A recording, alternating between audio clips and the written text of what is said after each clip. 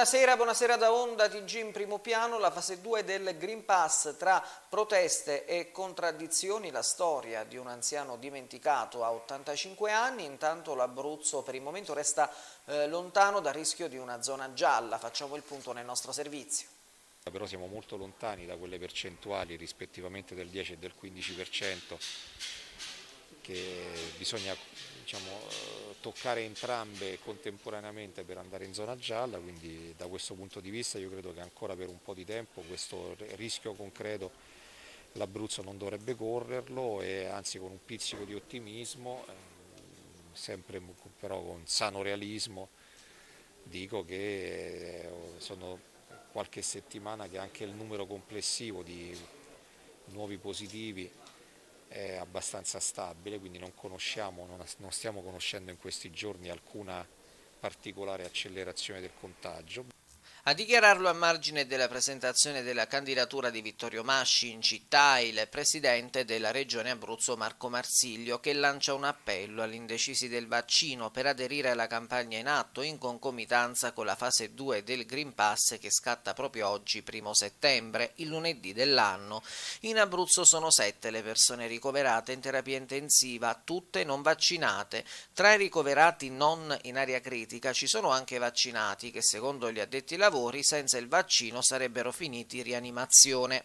Per tornare a stimolare i cittadini, magari rientrati dalle vacanze, eh, ad andare nei nostri centri vaccinali che in questo momento sono aperti senza bisogno di prenotazione, quindi in qualunque momento, anche adesso, chi si rivolge a un centro aperto, dopo pochi minuti eh, può aver eh, fatto il vaccino e mettere in sicurezza se stesso e la propria comunità. Da oggi intanto l'utilizzo obbligatorio del Green Pass riguarderà i settori dell'istruzione e dei trasporti, ambiti particolarmente attenzionati a pochi giorni del ritorno in classe, anche se sul fronte dei trasporti la certificazione verde non sarà necessaria per quelli regionali e locali. Green Pass obbligatorio quindi nelle scuole per il personale scolastico ma non per gli alunni, mentre si attendono delle direttive più specifiche arrivano le prime reazioni tra i dirigenti scolastici demandati al controllo del certificato verde. Questa incertezza dopo due anni di criticità e brutte figure è ancora imbarazzante per chi crede nei valori costituzionali e ha un alto senso di cittadinanza attiva, afferma il preside del Polo Fermi Massimo Di Paolo, secondo il quale gli studenti che hanno una responsabilità diretta nella diffusione del virus non possono entrare in un ambiente dove i lavoratori sono obbligati al vaccino e l'utenza no. È una contraddizione di termini di tipo giuridico, di tipo valoriale. Questo lascia l'amaro in bocca. La scuola ha bisogno di coraggio di una direttiva più certa. Ma il problema non riguarda solo le scuole. A dare voce ai dimenticati del Green Pass è il Tribunale per i diritti del malato con la coordinatrice Katia Puglielli che denuncia il caso di un 85enne tra i primi a completare il ciclo vaccinale ancora sprovvisto del certificato verde.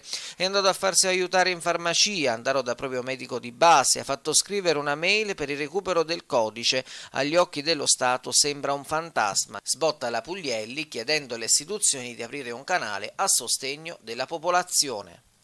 Messi a referto in ritardo altri due positivi non vaccinati, si amplia il focolaio nell'albergo di Opi con 13 contagi accertati, però tutti in isolamento, intanto il centro Abruzzo respira, sentiamo tutto nel nostro servizio. Settembre è tempo di migrare lontano dal Covid e il primo bollettino del mese sembra andare su questa direzione. Sono solo due i casi di Covid-19 messi a referto dalla ASL. Si tratta di una 23enne e un 54enne, entrambi domiciliati nella struttura alberghiera di Opi, dove nelle scorse settimane si è acceso un focolaio che ha coinvolto i dipendenti dell'albergo. Il quadro epidemiologico risulta da tempo stabilizzato, anche se alla mappa dei contagi si aggiungono le due positività accertate accertate nei giorni scorsi ma comunicate in ritardo alla ASL. I due positivi non risultano vaccinati e sono stati isolati assieme ai loro colleghi. Si tratta quindi di vecchi casi messi a referto. Sono 20 dipendenti che stanno affrontando la quarantena nell'albergo, di cui 13 positivi. Di questi solo uno ha completato il ciclo vaccinale, un altro ha ricevuto una sola inoculazione. Sono tutti asintomatici o con sintomi lievi. Per scongiurare un'incubazione più lunga del virus bisogna bisognerà attendere i tamponi di verifica che saranno svolti a giorni. Sono attualmente 156 le persone positive sul territorio, di cui 49 residenti a Sulmona, a fronte di due guarigioni registrate nelle ultime ore, mentre in sorveglianza si trovano 230 pazienti domiciliati sull'area Peligno-Sangrina. Se il virus ha allentato o meno la morsa sul territorio si vedrà nelle prossime ore quando saranno elaborati i dati riferiti ai referti dello scorso lunedì. Per il momento è passato l'incubo del mercoledì nero che la scorsa settimana fece registrare 29 casi e quella prima ancora 22. Prevenzione e vaccinazione restano le due armi da sfoderare nella quotidianità, soprattutto nel mese di settembre, dove tutto riparte e ricomincia. E veniamo alla questione SNAM che finisce con le diffide questa volta sul tavolo delle procure pensate di Sulmona e eh, di Roma con il doppio esposto presentato dagli ambientalisti. Sentiamo tutto nel nostro servizio la magistratura indaghi sulla questione SNAM e quanto chiedono gli ambientalisti con un esposto che è stato presentato presso le procure della Repubblica di Sulmona e Roma, un doppio binario di indagine che si apre. Troppe le cose che non quadrano nella lunga e controversa vicenda della centrale e del metanodotto che la SNAM insiste nel voler costruire a Sulmona lungo la dorsale appenninica tuonano i comitati che nelle prossime ore illustreranno il contenuto dell'esposto, spiegheranno per quali ragioni si è giunti a interessare la magistratura affinché indaghi sui tanti aspetti non chiari della vicenda ed accerti pure eventuali responsabilità in merito. Per la prima volta quindi gli ambientalisti presentano un esposto alla magistratura dopo le diverse diffide, chiedendo che sia fatta luce sull'iter autorizzativo che muove fondamentalmente da un vizio d'origine, ovvero quello secondo il quale l'opera di pubblica utilità e strategica, come è stata definita dall'alto, si basi su dati di fabbisogno del tutto errati, anche alla luce del recente rapporto pubblicato sulle energie fossili.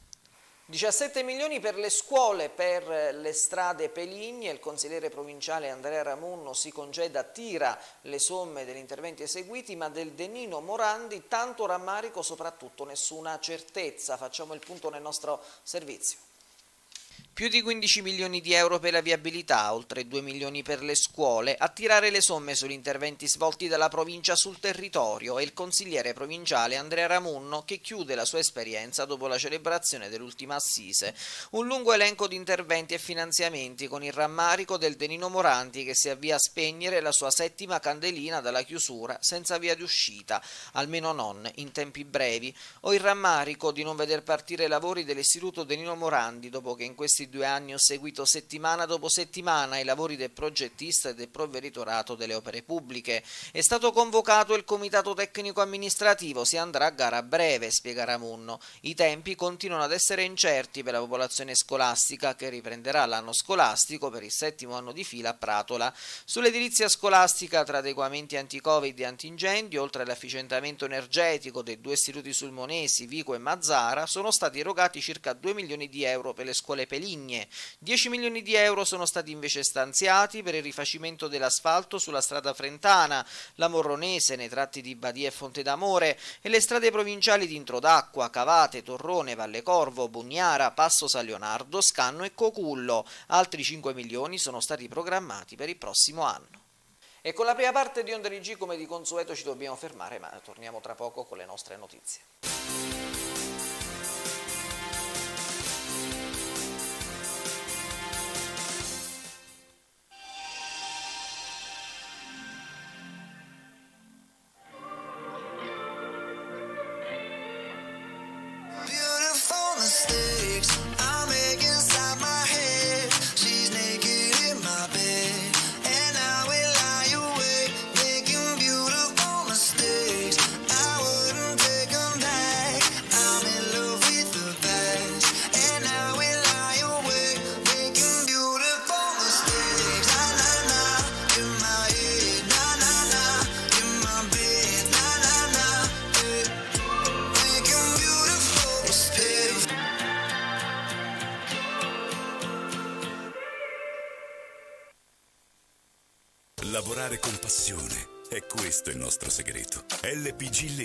1997, realizza tetti tettoie, gazebo, casette e garage in legno di alta qualità. Pali a recinzioni in pino impregnato e castagno. Case residenziali antisismiche, dall'ideazione alla posa in opera. Alla LPG Legno, le tecniche più all'avanguardia e le lavorazioni artigianali ci aiutano a raggiungere l'eccellenza. Contattaci per costruzioni civili e industriali. Per le pubbliche amministrazioni siamo sul MEPA. LPG è centro lavorazione legno autorizzato. Progettazione e stabilimento a Raiano, zona industriale 347 588 7107. LPG Legno, la tradizione artigiana incontra l'innovazione quotidiana.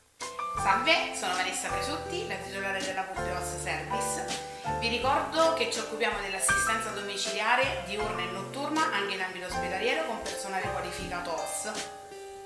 La WPOS Service da quest'anno, oltre che avvalersi degli operatori sanitari, avrà dentro il suo staff una figura professionale, la dottoressa Roma Musti. Salve, sono la dottoressa Rona Musti, mi occupo di psicologia clinica, consulenze tecniche di parte e ipnosi. Una tecnica di rilassamento profondo che eh, permette alle persone di guardarsi dentro e di avere delle risposte che eh, spesso eh, coscientemente non hanno. Voglio concludere eh, citando una frase a me molto cara, chi non pensa non si risolve mai. Vi aspettiamo nei nostri nuovi studi in via Papa Giovanni XXIII, numero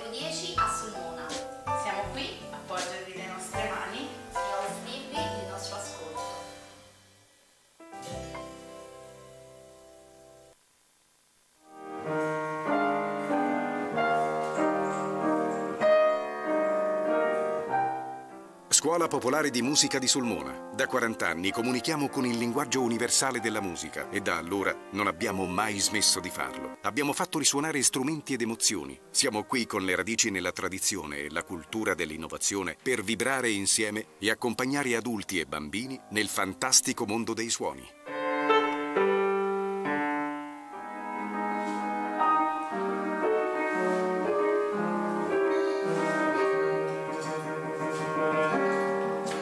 Il nostro hashtag è hashtag musica. La nostra parola chiave è identità musicale. We Stay On Air. Sulmona, in Viale Mazzini 51. Telefono 0864 53 978.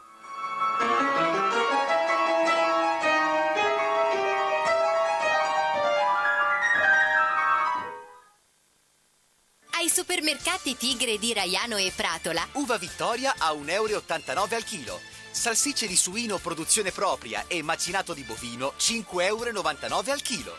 Mortadella carne italiana sciccosa 89 centesimi. Acqua Sant'Anna naturale 1 litro e mezzo 25 centesimi. Pasta di semola garofalo 500 grammi 75 centesimi. Biscotti balocco 350 grammi 69 centesimi. Punto vendita di Raiano orario continuato e domenica aperto ore 9.13. Supermercati Tigre, Raiano, strada statale 5 e Pratola Peligna, via Valle Madonna 51. L'AIAS, sezione di Sulmona, ODV, è un'organizzazione di volontariato per assistenza alla disabilità rivolto ad adulti e bambini. Da anni siamo vicini alle famiglie di persone diversamente abili, promuovendo il loro benessere psicofisico, l'autonomia e l'inclusione sociale. Con il nostro personale specializzato organizziamo corsi di formazione per adulti dopo la scuola pubblica, attività ludico-ricreative per i più piccoli e laboratori di artigianato artistico per stimolare le risorse personali. Inoltre, da settembre partiamo anche anche con il doposcuola inclusivo, aperto a tutti. Venite a trovarci. Siamo a Sulmona in via Torrone 44C. Continuate a sostenerci donando il vostro 5 per 1000.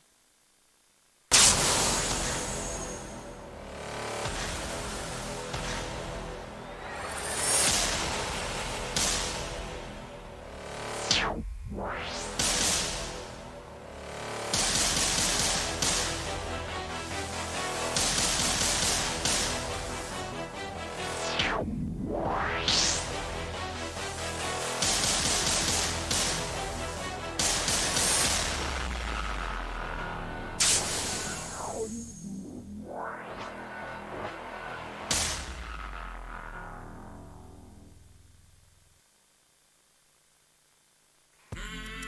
Il cibo non è solo nutrimento, ma anche identità, tradizione, territorio, valori a te cari che danno più gusto alla tua giornata e che trovi nei prodotti Terra Antica. Latte alta qualità, olio, formaggi freschi e stagionati, tutti ingredienti semplici e genuini provenienti dalle terre abruzzesi. La cooperativa Terra Antica tutela i sapori autentici della tradizione perché tu possa portarli a tavola e condividerli con i tuoi cari. Latte, olio, formaggi freschi e stagionati delle terre d'Abruzzo. Metti in tavola solo ciò di cui ti fidi. Terra antica, alta qualità, a chilometro zero.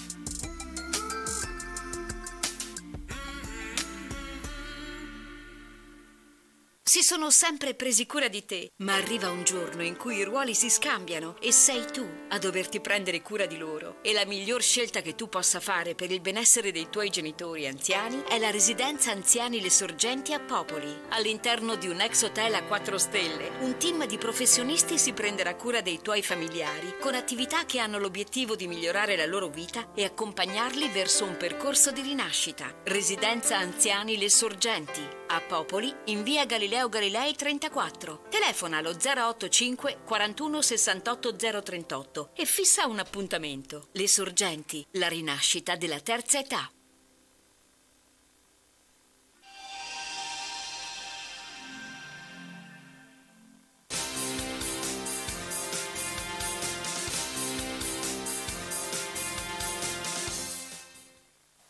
Seconda parte, seconda parte di Onda Rigiri, partiamo dalla cronaca, la resistenza, il tentativo di fuga andato male, chiesto il rito abbreviato per il rapper evaso nelle scorse settimane dall'ospedale. Sentiamo nel nostro servizio. Rito abbreviato condizionato alla perizia psichiatrica e quanto chiederà l'avvocato Alberto Paolini per il suo assistito 22enne di Cremona, MA le iniziali, resosi protagonista lo scorso 22 agosto dell'evasione dal pronto soccorso di Sulmona dove era stato portato per un malore in stato di arresto. Il giovane doveva essere tradotto ieri dal carcere di Lanciano al Palazzo di Giustizia per il rito direttissimo. Il periodo di isolamento fiduciario di 14 giorni che ogni detenuto detenuto deve osservare dopo un nuovo ingresso in carcere, ha fatto slittare l'udienza al prossimo 21 settembre, quando l'avvocato del 22enne chiederà il processo con il rito abbreviato condizionato, come detto, a una perizia psichiatrica per attestare se quella maledetta domenica il giovane era o meno capace di intendere di volere. Il giovane era stato fermato la notte tra il 21 e il 22 agosto nell'area della villa comunale. Trovato in possesso di 40 grammi di hashish, ha opposto resistenza agli agenti operanti ed è stato tratto in arresto. La domenica, in preda a un malore, forse per una crisi di astinenza, ha ottenuto ricorso alle cure mediche dell'ospedale, dove è evaso intorno alle 11, dileguandosi per una finestra, rubando una bici fino a raggiungere le campagne di Pettorano, dove è stato recuperato dalla polizia nel pomeriggio dopo ore di ricerche con con 10 pattuglie e due elicotteri. La storia non è delle migliori. Il 22enne è stato allontanato dalla famiglia, raggiunto negli ultimi tempi anche da trattamenti sanitari obbligatori. Recentemente è iniziato il difficile percorso di ritorno sulla buona strada. È un rapper su YouTube si fa chiamare il giovane nobile, almeno fino al prossimo 21 settembre per la resistenza pubblico ufficiale e per l'evasione resterà dietro le sbarre. Parametri non conformi, Scanno chiude due fontane pubbliche con apposita ordinanza firmata dal sindaco Giovanni Mastro Giovanni. Sentiamo che cosa è successo nel nostro servizio. Parametri non conformi alla normativa vigente nell'acqua di scanno e così il primo cittadino Giovanni Mastro Giovanni con apposita ordinanza chiude due fontane pubbliche in paese. La comunicazione della ASL 1 Avezzano su Monal'Aquila è arrivata nel pomeriggio di ieri e il sindaco ha così ordinato il divieto di utilizzo dell'acqua destinata al consumo umano proveniente dal pubblico acquedotto. Il provvedimento si è reso necessario in quanto le analisi eseguite dall'Agenzia regionale per la tutela dell'ambiente, l'ARTA, hanno rilevato parametri non conformi alla normativa nei punti di prelievo presso le fontane pubbliche di Largo Chiaffredo Bergia e via Domenico di Rienzo. Il sindaco ha quindi intimato alla SACA, l'ente gestore dell'acquedotto comunale, di adottare tutti i provvedimenti necessari, tesi a garantire in tempi rapidi la piena potabilità dell'acqua stessa, al fine di limitare al massimo i disagi per la popolazione interessata. Blindata e eh, verso l'UNESCO a Pacentro è tutto pronto per la corsa della ripartenza, la plurisecolare corsa degli zingari. Eh, sentiamo allora tutto nel nostro servizio. Circa 20 partecipanti, pacentrani e non, tutti muniti di Green Pass tampone negativo, animeranno l'edizione 2021 della corsa degli zingari a Pacentro. Nel Borgo Peligno fervono i preparativi per la plurisecolare tradizione che si ripete nonostante l'emergenza pandemica ancora in corso. Sarà un'edizione blindata e senza pubblico come lo scorso anno, con ingresso riservato agli addetti lavori, muniti anche loro di Green Pass. Un omaggio, una celebrazione della tradizione, non una vera e propria competizione. Si partirà alle 17.30 come di consueto su Colle Ardinghi della Pietra Spaccata per un percorso di circa 480 metri tra fatica, devozione e identità. I partecipanti si lanceranno a piedi scalzi fino alla chiesa della Madonna di Loreto con la raccomandazione di percorrere la discesa con relativa calma, onde evitare problemi sanitari, vista la particolare circostanza. Il primo ad arrivare riceverà il palio di stoffa. È aperto al pubblico invece il concerto che si terrà allo stadio comunale alle ore 21 di domenica 5 settembre. Mille posti disponibili in piena sicurezza con tutte le misure anticontagio come già sperimentato lo scorso anno, il famoso modello Pacentro che è stato sperimentato con successo, tant'è che la Corsa degli Zingari è l'unico grande evento estivo che si è svolto sul territorio senza grandi stravolgimenti. Ad esibirsi accanto alla madrina dell'evento Matilde Brandi saranno i The Colors che nei giorni scorsi hanno rinviato un concerto per la positività di un membro dello staff. Nessuna disdetta è arrivata per per cui tutto è confermato. Noi comunque abbiamo già pronto il piano B, assicura il presidente dell'Associazione Corsa degli Zingari, Giuseppe De Kellis, che quest'anno ha fatto i salti mortali per pianificare tutti i dettagli organizzativi tenendo conto delle disposizioni stringenti in atto. Guardate, senza peccare di presunzione, credo che quest'anno sia la corsa più difficile che sia stata mai organizzata, perché purtroppo viviamo sotto ancora questo effetto di questa bestia chiamata Covid e le normative, credetemi, sono cambiate mese per mese. Quindi facendo un piano di lavoro, di organizzazione che a noi parte 11 mesi prima l'evento, credetemi è stato rivoluzionato 3-4 volte e ancora sappiamo se è definitivo. Colgo l'occasione di ringraziare pubblicamente l'ingegnere Giampietro Andrea e il suo staff perché lui è a casa con il Covid ma è un nostro generale, è un mio compare e questa corsa io personalmente la, dedichi, la dedicherò a lui. La vera corsa da vincere è quella della candidatura UNESCO. Il percorso è cominciato con la ricostruzione della bibliografia a disposizione e delle origini della manifestazione che si collocherebbe in epoca longobarda. Beh, diciamo che l'associazione in questo è, stato, è stata veramente come abile, nel senso che hanno iniziato già dei primi contatti con degli attori istituzionali per iniziare questo che sarà un percorso decisamente arduo ma che è assolutamente ben visto e assolutamente condiviso da parte del, del Comune. È assolutamente necessario risalire alle origini di, di, di, questa corsa attraverso un approfondimento che la elevi a dignità di evento, insomma, quindi e arrivare fino al riconoscimento. È chiaro che è una strada lunga che va percorsa e quest'anno abbiamo ufficialmente gettato le basi, poi sicuramente eh, inizieranno dei percorsi che avremo modo di, di dettagliare nel, nel, diciamo nel, nel merito.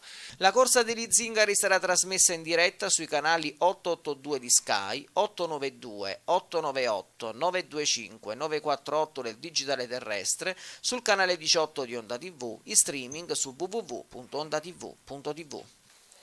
E intanto a Pettorano sul Gizio si va di porta in porta un antico itinerario alla scoperta delle tradizioni culturali del borgo e non solo, ce ne parla nel servizio Gaetano Trigilio. Allora mi dicete cosa?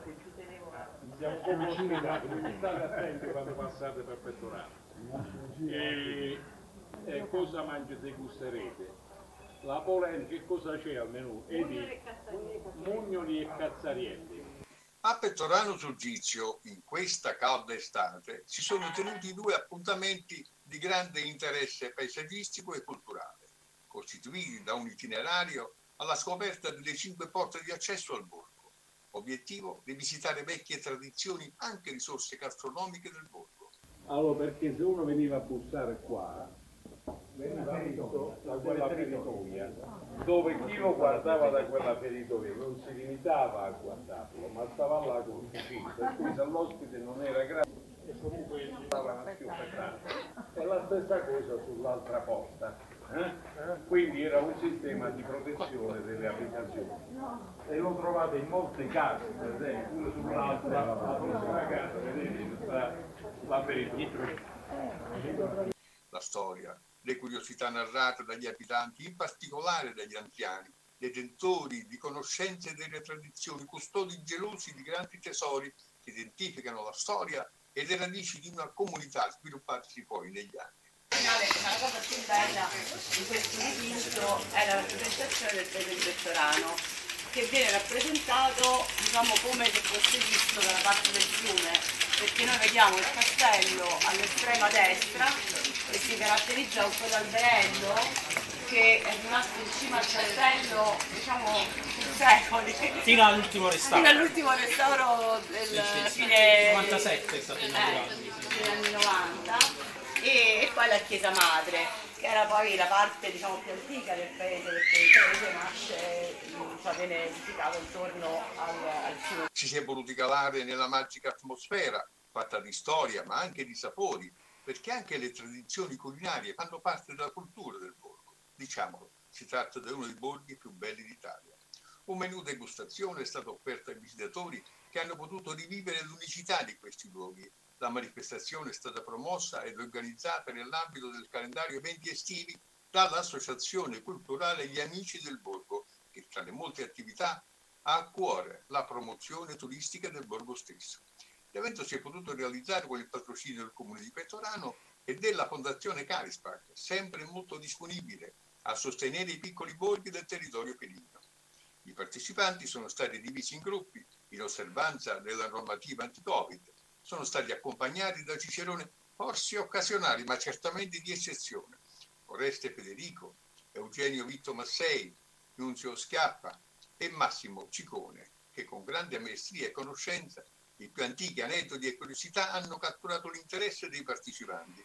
Allora, il tratto di strada che da Sulmona va a Pettorano e dice buona dopo la taverna di Pettorano vi è un torrente che sarebbe il riaccio quello che passa a fianco al campo sportivo no? Eh,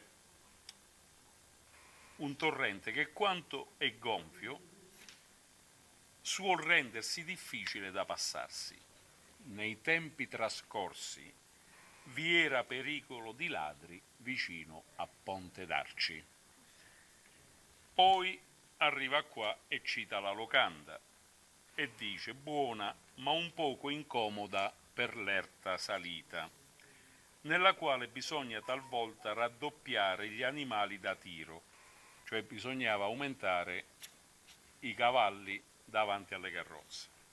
che hanno apprezzato molto sia i luoghi che le pietanze del menù degustazioni, preparato da ristoranti del luogo. Tra l'altro il ristorante La Locanda con i famosi mugnoli, i cazzarielli e le pizzelle, il ristorante Il Torchio, custode dei segreti della preparazione della famosa polenta rugnosa e le crostole, il bar, il cortile e gli alimentari di Massimo Ciccone. No, comunque credo che sia una bella occasione troppo largo. Vabbè, possiamo scegliere. Vorresti già raccontato un po' di storie, sull'autenticità storica. Anche io, i miei dubbi. Vi potete fidare, però l'importante è che siano belle, perché le storie, le storie devono essere belle, poi qualche volta diciamo, sono filologicamente corrette, qualche volta sono inventate, però la fantasia è utile altrettanto. E ovviamente anche questa sera abbiamo la nostra buona notizia.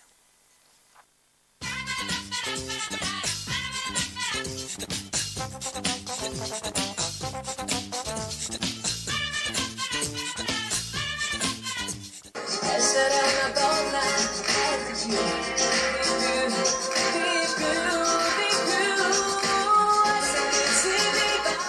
Il ritmi della terra e della natura, nella transumanza che unisce con grandi artisti, cantanti e attori, per raccontare le origini verso percorsi e viaggi nei tarturi, anche verso il futuro sostenibile. È stato questo il filo conduttore dello spettacolo andato in scena ieri sera nell'anfiteatro del Parco Fluviale Augusto Taolio. Sul palco, anzi sul tratturo della transumanza, tanti big della musica e del teatro, Anna Tatangelo, Ron, il tenore Piero Mazzocchetti, Maurizio Trippitelli, le percussioni ensemble su dell'anima, la scrittrice Daniela Musini, il direttore del Teatro Stabile dell'Abruzzo Giorgio Pasotti. Le campagne no, c'è più nessuno.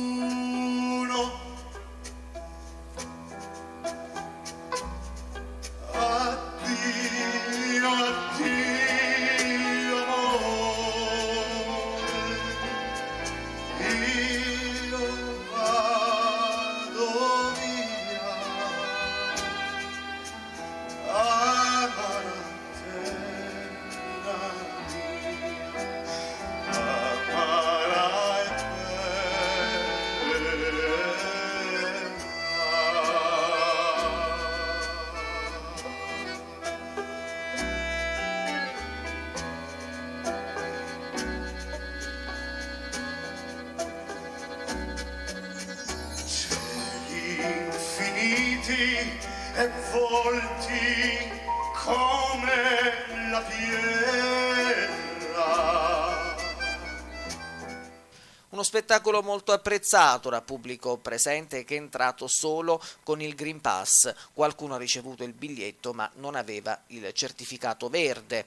Lo spettacolo, il racconto della terra hanno fatto da filo conduttore all'evento, ma prima nel pomeriggio il convegno proprio per unire Sulmona e l'Aquila, creare una grande vetrina di promozione sul territorio perché dalla terra si deve ripartire per promuovere e fare turismo. Minuscoli puntini che si arrampicano sul fianco delle montagne con un bastone in mano, seguiti da una miriade di puntini bianchi, pelati, ammassati alle loro spalle.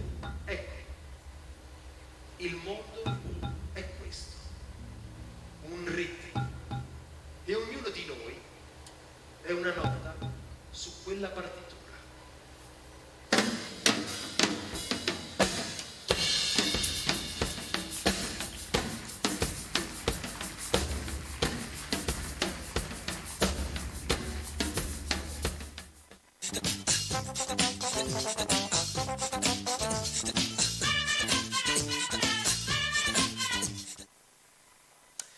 Di chiudere vi ricordo, anzi vi invito a visitare il nostro sito internet www.ondatv.tv per restare aggiornati su tutte le notizie, davvero tutto per questa edizione, grazie per aver scelto Onda DG che come di consueto torna domani, a tutti una buona serata.